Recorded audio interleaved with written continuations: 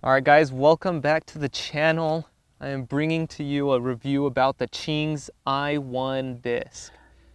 It's got a bead on it, a textured thumb track, as well as a finger track down here. Some extra light on there so you can see those shadows a little bit better. It's pretty thin plastic, but it's pretty durable. This disc has what they call a bounty. And with every one that you purchase, it has a paper that comes with it, explains everything there is to it.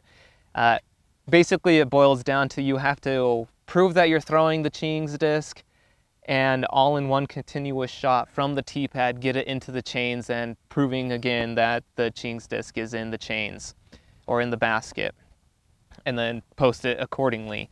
That's how you can win the cash bounty. Now, this mid-range surprised me exceedingly. Like in hand, it feels kind of flimsy, feels kind of cheap, kind of like a toy.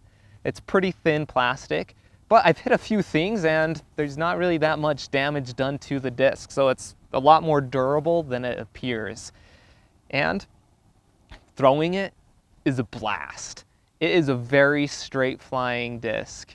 I can hyzer flip it, it will fly keep going straight. I can throw it straight, it will just fly straight. I can throw it on the anhyzer, it's gonna hold that line. It'll even hold the hyzer lines.